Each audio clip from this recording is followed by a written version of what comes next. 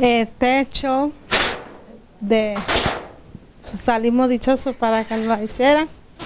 Y le doy gracias al presidente de la Junta de Vecinos que si no hubiera sido por él nosotros había notado abajo de una no estuviéramos mojando a este ahora que cuando llovía teníamos que andar con la cama jalándola y arrastrando los tieticos para arriba y para abajo. Primero ellos llegaron y hicieron un censo, la compañía Techo.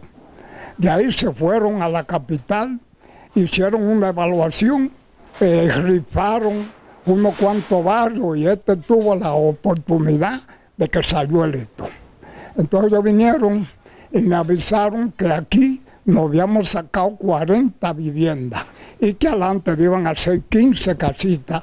Entonces ellos vinieron, hicieron un censo de nuevo y buscaron la casita más mala para hacer adelante, para dentro de enero seguir construyendo, completar las 40 casas.